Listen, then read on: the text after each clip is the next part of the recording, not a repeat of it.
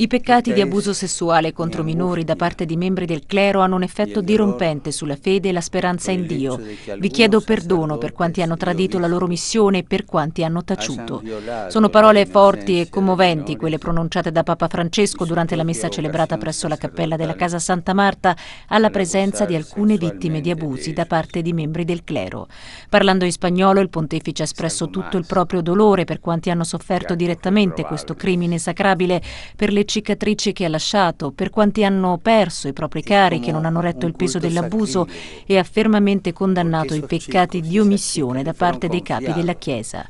Non c'è posto nel ministero della Chiesa, ha concluso Papa Francesco prima di incontrare personalmente le vittime, per coloro che commettono abusi sessuali e mi impegno a non tollerare il danno recato ad un minore da parte di chiunque, indipendentemente dal suo stato clericale.